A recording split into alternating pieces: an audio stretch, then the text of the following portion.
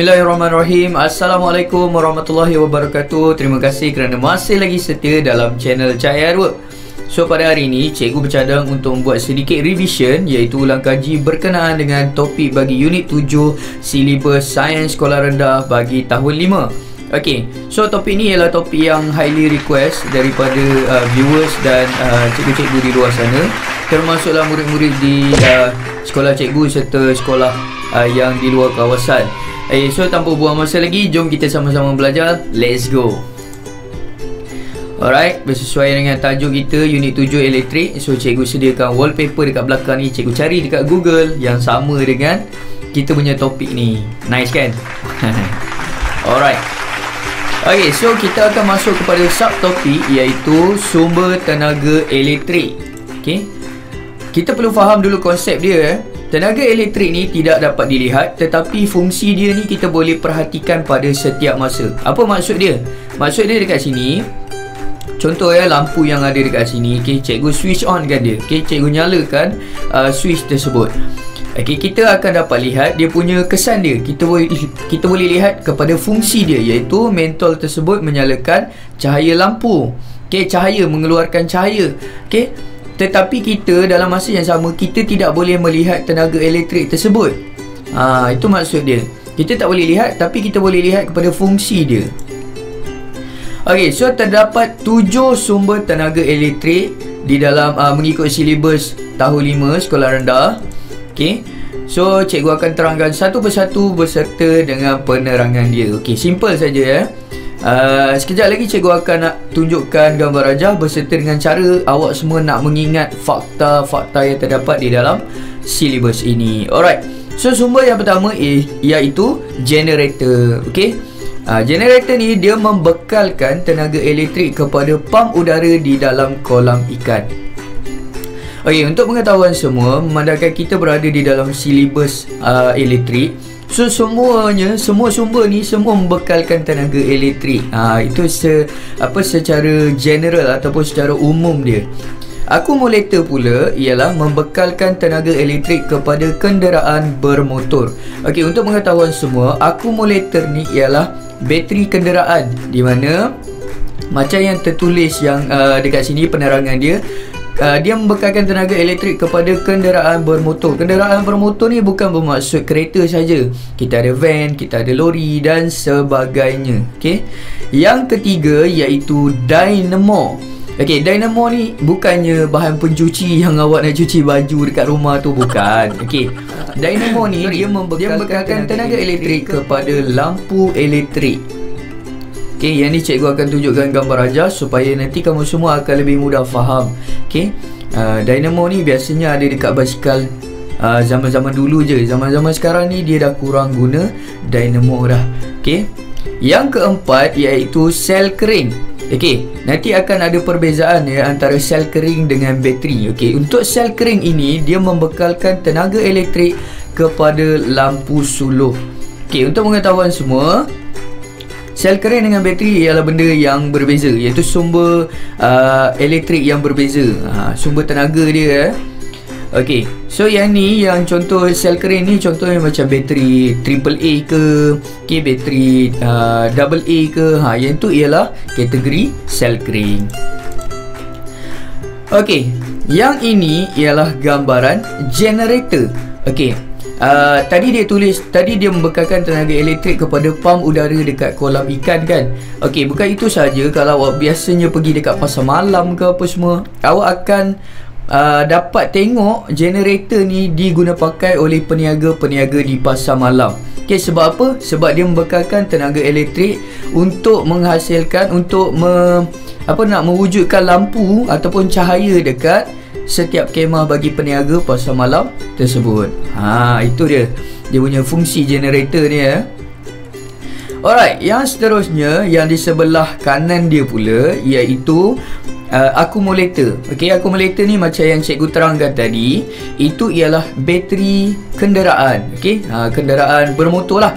Uh, bukan sekadar uh, kereta, ada juga van, ada juga lori. So semuanya menggunakan uh, akumulator. Ha, okey untuk yang di sini Okey, ha, inilah yang dimaksudkan dengan dynamo. Okey, di mana dynamo ni dia terdapat pada bahagian tayar basikal tersebut. Okey. Dan uh, di bahagian dynamo tersebut ya dekat bawah ni ada tembaga ya, yang warna apa? Yang warna coklat ke keemasan ni. Okey. So apabila kita semakin laju kayuhan kita ataupun semakin laju apa? meningkat uh, putaran uh, basikal tersebut okey semakin uh, meningkat kecerahan uh, lampu tersebut uh, so dia ada sedikit hubungan ataupun hipotesis bagi penggunaan dynamo pada basikal basikal inilah alright Ha, ini ia uh, ini biasanya zaman-zaman cikgu kecil-kecil dulu adalah okey zaman-zaman sekarang ni orang dah pakai lampu yang biasanya ada dekat belakang uh, seat basikal ataupun tempat duduk basikal tersebut Alright, okay, yang ini baru dikategorikan sebagai uh, sel kering. Okay, kalau awak perhatikan dekat sini ada uh, huruf uh, 2A besar. Okay, so maknanya yang cikgu maksudkan tadi ada triple A, ada double A, yang ni lah. Okay, okay, ini ialah sel kering. Di mana sel kering ni dia diguna pakai untuk kita nak guna dekat lampu sulur, kita nak guna dekat uh, apa alat kawalan jauh. Biasanya kita akan pakai bateri ini. Ha ni gambar raja ni dia tunjuk dekat sini yang yang kiri ni kalau dah habis tenaga, okey, kita nak check sama ada sel kering tu masih lagi mempunyai tenaga elektrik, so kita boleh buatlah uji kaji ni dekat rumah. Okey, kalau berjaya thumbs up untuk korang, tapi kalau tak berjaya korang kena cuba sampai berjaya sebab ini ialah fakta. Okey, yang kelima iaitu sel suria ataupun panel suria. Okey, di mana dia membekalkan tenaga elektrik kepada alat pemanas air yang ada dekat rumah tu. Eh, sorry. Nombor uh, so, 6 kita akan membahaskan berkenaan dengan jana kuasa hidroelektrik.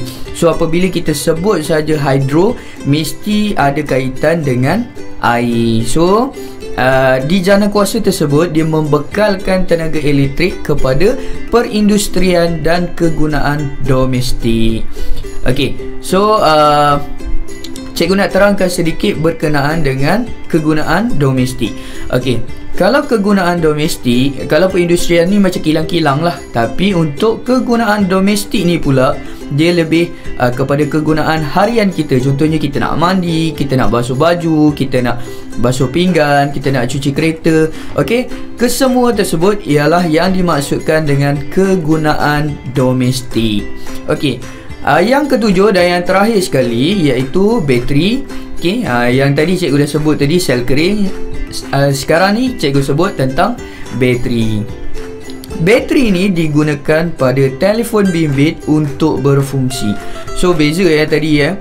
Macam contoh bateri yang ada dekat sini ialah bateri yang nipis tu. Ha, bateri yang biasanya ada dekat belakang telefon bimbit kita tu.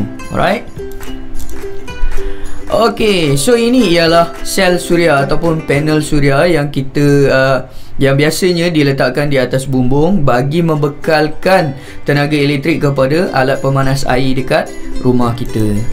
Okey, yang ini pula ialah jana kuasa hidroelektrik. Okey, siapa antara kamu yang masih lagi ingat apakah perubahan bentuk tenaga yang berlaku di bahagian atas dan di bahagian ini? Okey, di sini dan di sini. Okey, siapa boleh jawab? Cikgu bagi masa dalam lebih kurang dalam uh, kiraan 5. Okey, terdapat dua eh. Uh, cikgu nak dua saja. Apakah uh, perubahan bentuk tenaga yang terlibat di dalam gambar rajah ini. Okay, so let's count in. Satu, dua, tiga, empat, lima. Alright, okay. So jawapan dia untuk perubahan bentuk tenaga yang berada di sini iaitu potential ataupun uh, apa? Tenaga keupayaan. Ya, yeah, okey, ni ialah tenaga keupayaan. Sebab tenaga keupayaan ni ialah daripada atas ke bawah, okey? So, uh, yang ini ialah tenaga kinetik di mana air itu dia akan bergerak daripada atas pergi ke bawah. Ha, so itu kena ingat eh, ini sambil-sambil cikgu ajar ni kita akan buat sedikit revision iaitu ulang kaji. Okey, yang ini yang cikgu maksudkan pada kamu semua berkenaan dengan bateri. Ini ialah contoh eh, contoh di mana kita nak tengok uh, bateri yang berada di belakang telefon bimbit. Okey. Uh, ni jenama Samsung. Okey, dia ada dia punya uh, positif dan negatif dia ada tambah ada tolak dia. Alright. Okey. So, Tadi kita dah sebut banyak-banyak mesti susah nak hafal. Okey, tapi sekarang ni cikgu nak mudahkan kamu semua. Cara nak ingat dia ialah dengan menggunakan teknik mnemonic ini iaitu Gopal ada duit besar 10 sen hampir. Okey. Ah okey, cikgu ulang lagi sekali. Gopal ada duit besar 10 sen hampir. Okey, senang saja nak ingat di mana G tersebut mewakili generator. A tersebut mewakili akumulator. D tersebut mewakili dynamo. Okey. B tersebut mewakili bateri. Okey ada dua se dekat sini eh. Sini se sini pun se okey yang ni ialah sel suria. Yang ini pula ialah sel kering. Cikgu ulang lagi sekali. Sel suria sel kering dan H tersebut ialah hidroelektrik so senang saja kan? Kita nak ingat. Tak perlu masa yang lama pun untuk nak ingat okey Alright, sekarang ni kita beralih kepada lita elektrik lengkap. Okey. So kita nak kena tengok lita elektrik lengkap, ada lita bersiri, ada lita selari. So kita akan tengok sama-sama eh. Okey, lita elektrik terdiri daripada empat komponen asas. Okey, apa empat komponen asas tersebut? Yang pertama ialah sel kering, yang kedua ialah mentol. Okey, yang ketiga ialah suis dan yang keempat ialah wayar. Okey, so senang saja nak ingat kan. Dalam silibus sekolah rendah dia tak tinggi macam uh, sekolah menengah kita dah ada guna kapasitor lah kan ada penambahan yang lain kan tetapi untuk silibus sekolah rendah hanya empat saja komponen asas yang kita perlu perlu ingat yang dikategorikan sebagai lita elektrik lengkap kalau contohlah sel kering tak ada. So itu tidak dikira sebagai lita elektrik? Lengkap. Ha. ok so cara nak ingat dia macam mana? Ok tadi kita dah ingat. Ok bagaimana nak ingat sumber uh, sumber elektrik? So sekarang ni kita ingat. Ni pula. Mat Saleh suka wang. Mat Saleh suka wang. Ok so tadi kita kita back balik. Ok Mat Saleh. M tersebut ialah mentol Okey. S yang tersebut uh, yang seterusnya mak salih tersebut sel kering. Okey, dah settle lah dua. Suka wang. Okey, suka tu su, suis. Okey. Wang pula ialah wayar. Ha okey. So tadi cikgu ulang balik, kita recap balik. Gopal ada duit besar 10 sen hampir dan sekarang ni kita ingat Mak Saleh suka suka wang. Alright. Ah, kalau cikgu agak sedikit laju, kamu semua boleh ulang balik tayangan video ni dan korang boleh pause, okey? Ah, dan ah, boleh tengok ataupun nak salin nota pun di apa dialu-alukan. Okey, lebih baik ya. Eh? Sambil dengar kita take note nota. Okey, so sekarang ni kita akan lihat kepada fungsi suis. Suis ni ialah alat yang digunakan untuk menyambung dan memutuskan lita elektrik. So uh, itulah fungsi dia eh. Dia ialah alat yang kita guna untuk sambung dan putuskan litar elektrik. If let's say kalau suis ni kita tidak kita tak sambungkan dia okay, ataupun kita putuskan dia daripada litar elektrik tersebut means dia tidak bersambung. So apabila tidak bersambung, ha arus elektrik itu tidak dapat melalui litar tersebut. So apabila suis ni ditutup, mentol pada litar elektrik ni dia akan menyala. Okey so litar ini dipanggil litar elektrik lengkap. Okey yang dimaksudkan dengan suis ni apabila ditutup maksudnya suis tu dia macam terbuka eh? Ha ni ni ibarat macam uh, suis. Okey So uh, Swiss ni tak bersambung. Okay? ha, Kalau awak tengok jari cikgu ni Dia tak bersambung. So apabila awak sambungkan dia Baru dia arus elektrik ni Dia akan bersambung. Ha, Ini yang dimaksudkan apabila Swiss ni di, di, ditutup. Okay, Maksudnya dia dah bersambung jari cikgu Dengan jari yang kedua ni. Barulah dia kategori litar elektrik yang lengkap So apabila switch ni Okey ha, terbalik pula Okey So apabila switch ni Cikgu buka Okey daripada macam ni Cikgu dah buka Mentol ni tidak akan Menyala Ini kerana arus elektrik ni Tidak dapat mengalir Melalui elektrik Melalui litar elektrik yang Tidak lengkap Okey, ha ni sekadar ilustrasi saja. Cikgu nak tunjukkan kalau switch tu kita tutup baru dia akan menyala. Okey. Okey, so sekarang ni kita akan lihat kepada simbol komponen. Alright. Uh, simbol komponen, komponen kita ada empat tadi kan? Okey. Kita ada kita ingat dia cara dia Mak Saleh suka wang iaitu mentol, uh, sel kering, uh, switch dan juga wayar. So sekarang ni kita akan lihat kepada simbol dia beserta dengan apa fungsi dia. Okey, untuk komponen yang pertama kita akan melihat kepada sel kering. Okey. Ha, ni ialah gambaran sel kering. Okey, dia ada uh, positif, dia ada negatif eh. Ha, positif dekat atas, negatif dia dekat bawah.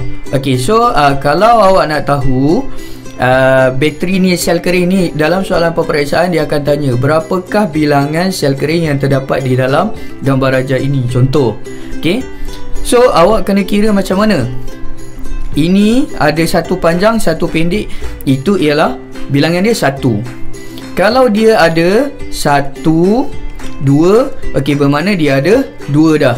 Okey dan dia ada lagi satu dia ada tiga. Satu panjang satu pendek. Panjang pendek panjang pendek. So dia ada tiga bilangan sel kering yang terdapat dalam simbol ini.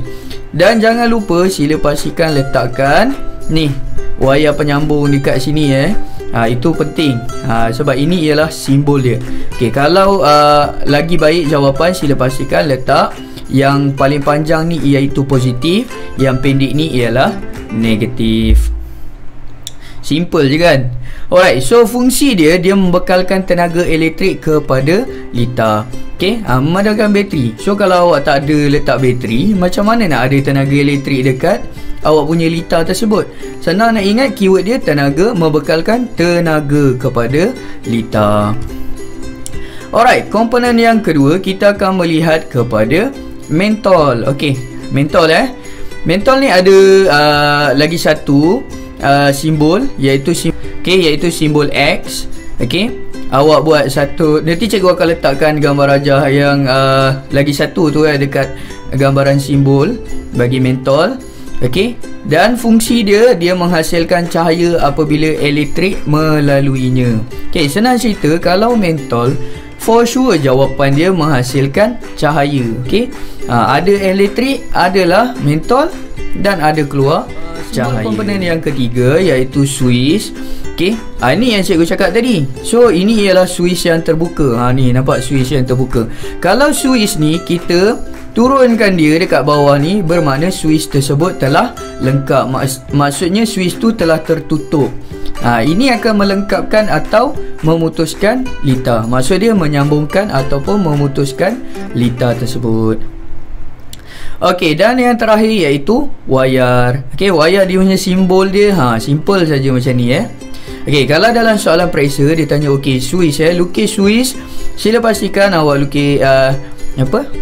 Melintang macam ni and then ada dua titik dekat sini dan kalau awak tengok yang ni terbuka ha, sila pastikan dia di atas. Kalau lah contoh dia tertutup sila pastikan yang titik sini dengan titik yang kedua ni bersambung. Itu baru dikategorikan switch yang tertutup dan lengkap untuk wayar senang saja ini itu simbol dia. Ha, satu garis saja satu garis melintang saja dah cukup dengan simbol komponen dia. Okey dia membenarkan tenaga elektrik mengalir melalui litar. Ha, itulah fungsi fungsi wayar so kita akan lihat kepada hipotesis. Apakah hubungan mengenai kecerahan mentol? Okey kecerahan mentol ni akan dipengaruhi oleh bilangan mentol itu sendiri. Okay, so dalam eksperimen ini, eksperimen yang ringkas ni, kita nak lihat kepada tujuan dan hubungan dia saja. Alright, untuk tujuan kita untuk menyiasat hubungan antara masih lagi kita gunakan teknik UMHA untuk menyiasat hubungan antara dan kita masukkan bilangan mentol. Bilangan mentol ialah kategori pemboleh ubah dimanipulasi manakala kecerahan mentol iaitu pemboleh ubah bergerak balas. Okey, so apa hubungan dia? Semakin banyak bilangan mentol yang ni uh, tertinggal eh dekat sini semakin banyak bilangan mentol parameter kena ada baru betul dalam litar elektrik semakin uh, malap kecerahan mentol okey? Uh, maksudnya dekat sini banyaknya mentol dalam litar elektrik tu semakin kecerahan mentol tu semakin lama semakin malap. Okey? Semakin banyak uh, semakin banyak bilangan mentol dalam litar elektrik semakin berkurang okey? Uh, semakin berkurang kecerahan mentol. Okey ni ada dekat sini ya. Ha ni sekadar ilustrasi saja Alright, so selain daripada bilangan mentol, bilangan sel kering juga mempengaruhi kecerahan mentol.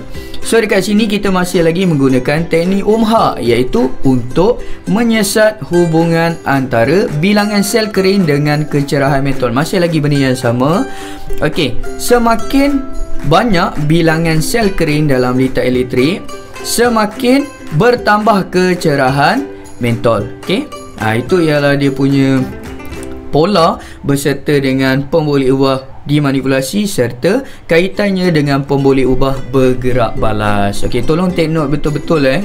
Jadi jangan salah sebabnya kalau kita salah parameter, kita, uh, salah uh, parameter for sure kita punya jawapan akan salah.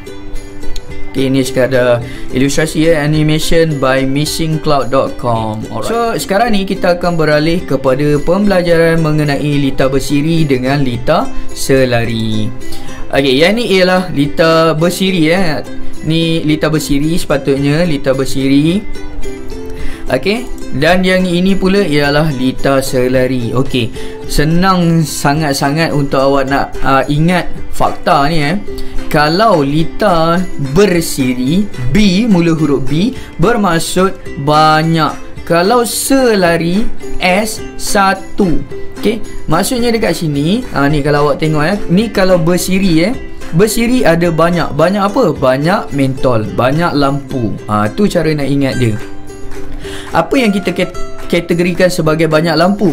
Ni eh kalau awak tengok dalam satu arus elektrik ni ada banyak lampu. Kalau awak tengok susunan ni ada satu bateri. Okey. Dia ada dua mentol. Ini iaitu simbol dia.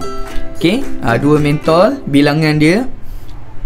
Okey, dia melalui arus yang sama. Okey, itu sebab dia kategori dia lita bersiri.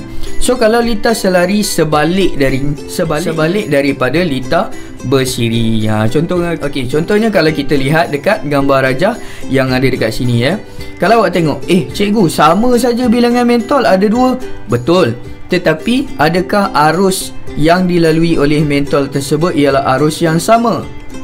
Jawapannya tidak. Okey. So dia boleh melalui arus ini satu satu putaran uh, bagi uh, arus elektrik dan yang kedua dia boleh melalui dekat bawah. So ada soalan yang ditanya di dalam soalan peperiksaan. Cikgu, apakah yang akan terjadi? Okey, apakah jangkaan bagi uh, kategori lampu bersiri kalau contoh mentol dekat sini terbakar? Uh, jawapan dia simple saja. Jawapannya mentol di sini tidak akan menyala. Sebab apa? Sebab dekat sini arus elektrik dia telah berhenti sebab mentol tu dah rosak. Okey, kalau dekat sini uh, litas uh, litas selari ni pula kalau contoh cikgu apa jadi kalau uh, mentol ni rosak? Okey adakah lita ini masih lagi boleh menyalakan lampu? Jawapan dia ya betul. Sebab apa? Sebab dia melalui arus elektrik yang berbeza Ha, kalau contoh yang ni terbakar, yang ni masih lagi boleh mengalirkan arus elektrik. Ini saja yang menyala, yang ni tidak menyala. Okey, cikgu harap jelas eh dengan penerangan cikgu. Okey, so kita akan lihat kepada lita bersiri dan lita selari tadi ya. Kita tengok Okey, ini ialah di dalam jadual. Okey, cikgu kreditkan uh, kepada Google. Okey, cikgu dapat ni daripada Google. Okey, di mana telah di uh, dikategorikan lita bersiri dan lita selari dengan baik di dalam jadual. Okey, yang pertama sekali, lita bersiri ni maksud dia lita yang mempunyai satu laluan untuk tenaga elektrik mengalir. Macam tadilah kita tengok. Okey, bersiri banyak lampu dalam satu arus elektrik. Okey, mentol tu disusun bersebelahan antara satu sama lain dalam laluan yang sama. So tadi kita tengok okey mentol ada dekat uh, mentol dia susun sebelah-sebelah saja. Ha itu sebab kalau mentol tu uh, mentol tu dah uh, dah terbakar lah contohnya. Mentol yang sebelah lagi tu dah tak boleh menyala. Sebab apa? Dia melalui arus elektrik yang sama. Okey. So semakin banyak mentol kita sambung semakin malap okey kecerahan dia akan semakin berkurang. Okey semua mentol berkongsi sumber elektrik. Alright. So kita beralih kepada lita selari. Okey maksud lita selari ni ialah satu eh. Ingat se satu. Ha, okay. Lita yang mempunyai dua ataupun lebih laluan untuk tenaga elektrik mengalir. Okay. Mentol ni disusun secara selari dalam laluan yang berlainan. Maksudnya dekat sini, untuk satu arus elektrik yang cikgu cakap selari ni satu, dia melalui arus elektrik yang berbeza. Okay. Lita dia uh, lita dia lita yang sama tapi arus elektrik dia ialah kawasan yang berbeza. Contohnya yang macam gambaran tadi ni cikgu nak tunjuk balik. Okey. Ha ni maksud dia. Ini arus yang lain daripada mentol ni lain dengan arus elektrik yang melalui mentol tersebut. Ha itu sebabnya yang dikategorikan sebagai lita selari. Okey. Ha Okey, mentol ni disusun uh, ini cikgu dah baca tadi. Okey, bilangan mentol ni tidak mempengaruhi kecerahan mentol. Maksudnya bilangan mentol kalau bertambah sekalipun tetapi dia masih mengekalkan kepada litas lari.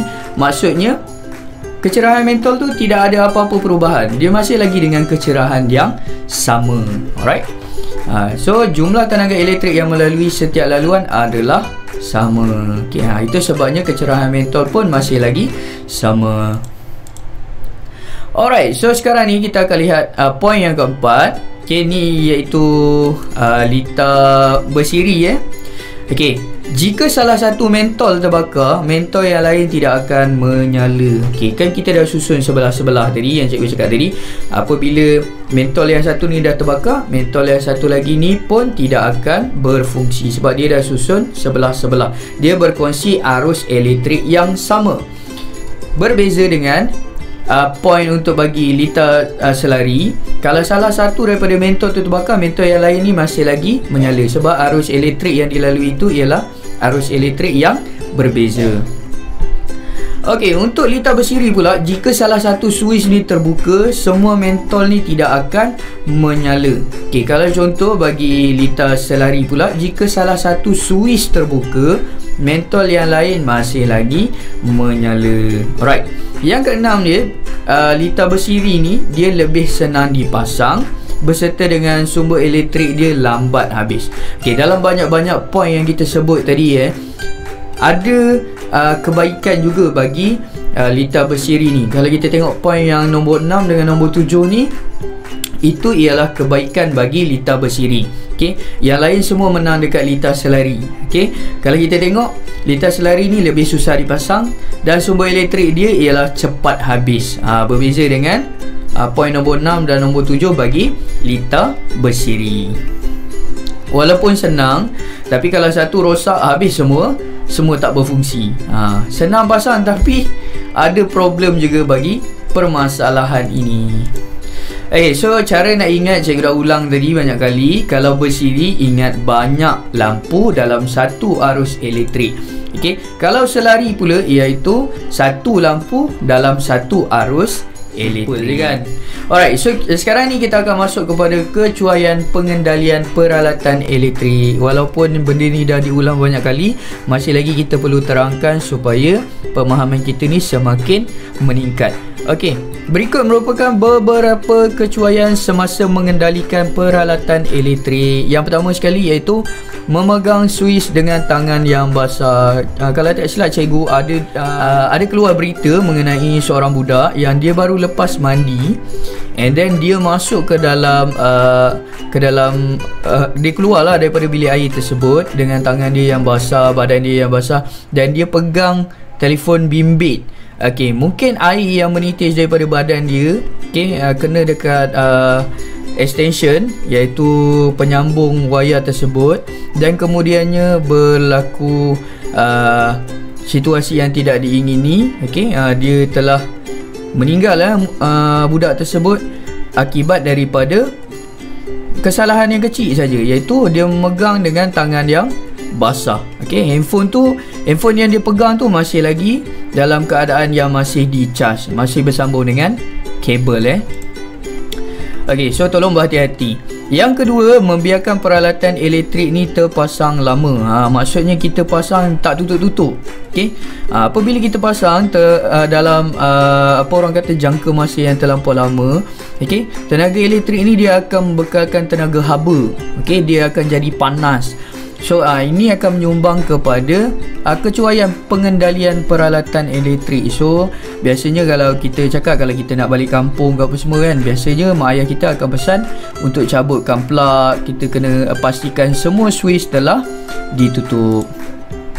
Yang ketiga menggunakan wayar yang rosak. Ha, biasalah kalau kita tengok ada juga orang yang suka berjimat. Okey ha dia berjimat untuk benda yang sepatutnya tidak dibuat. Okey digunakan wayar yang rosak untuk dia nak charge ke ataupun apa-apa yang bakal menyumbang kepada masalah di kemudian hari lah ha ni contoh ya cikgu ambil gambaran dekat uh, internet ni nampak ya dia kena gencatan elektrik. Ha okey.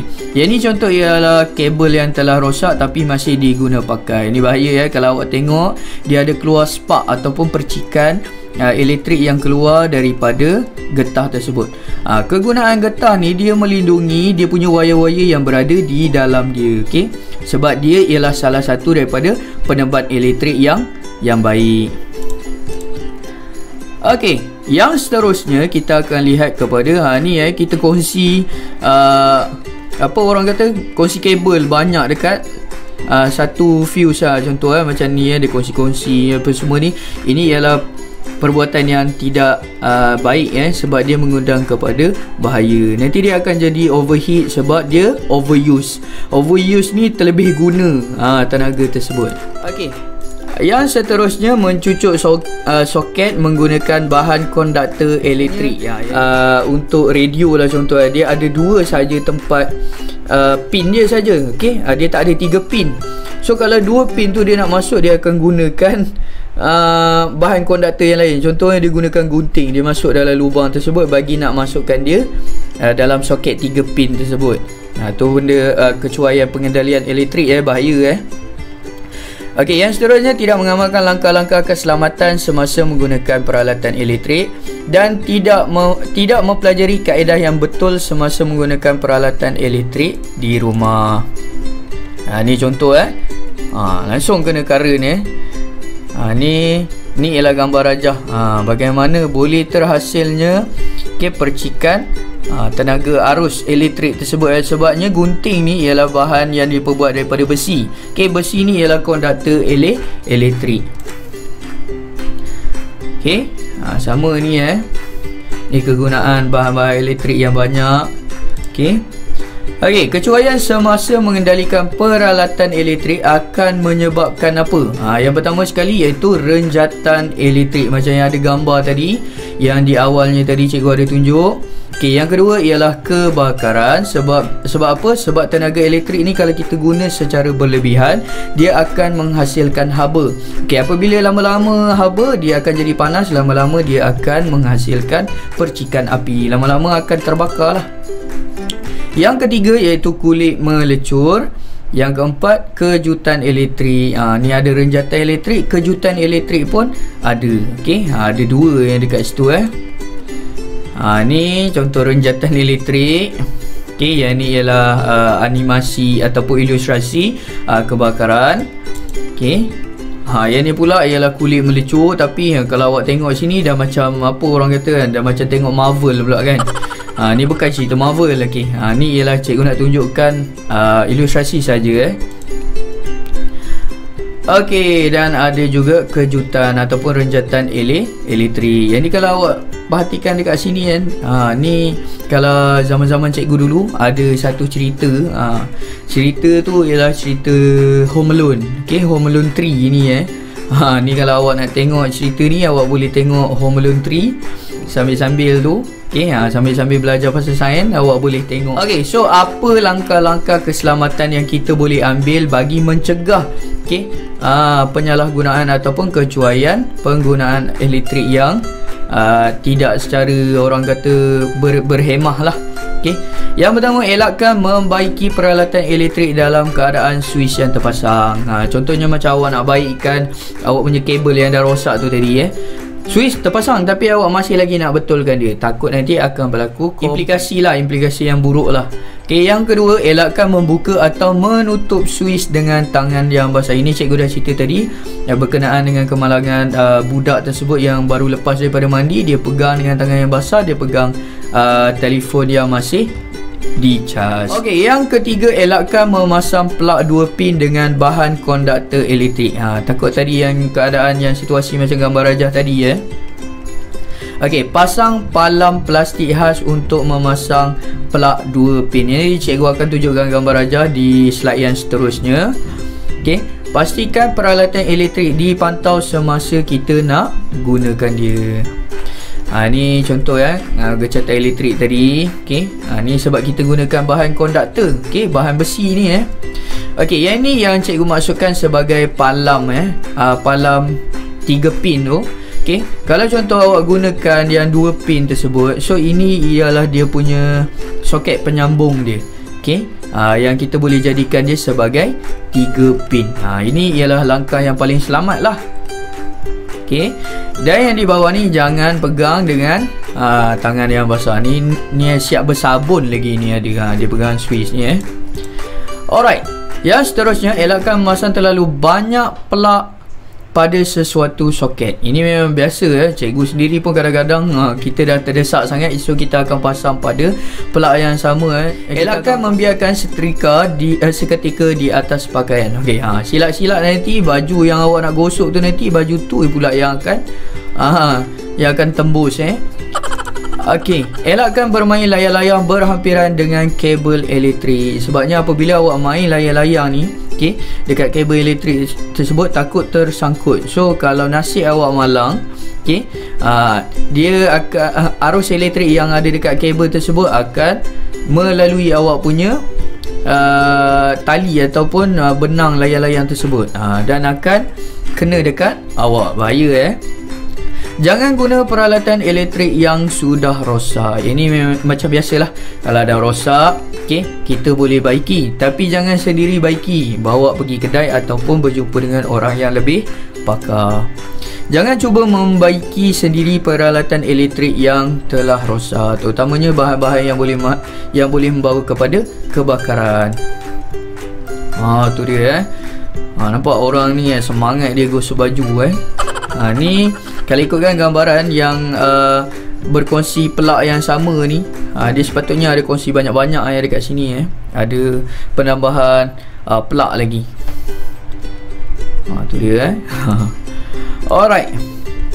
Uh, ni. Uh, ni maksud dia ni penggunaan uh, kita gunakan dekat soket yang sama banyak kita letak dekat sini so ini ialah perbuatan yang yang salah eh kita patut hindar eh ini contoh kalau uh, ni sekadar ilustrasi saja sebenarnya. Sebenarnya cikgu nak cari ilustrasi di mana layar-layar tersangkut dekat kabel. Tapi ini saja yang cikgu jumpa eh. Harapnya membantu eh. Ah, cikgu harap dengan uh, penerangan cikgu tadi dapat membantu kamu semua dalam memahami unit elektrik ini dengan lebih baik. Okey, sampai bertemu cikgu lagi dalam channel Cahaya Hardwork. So sampai uh, sampai di sini saja. Assalamualaikum. Bye.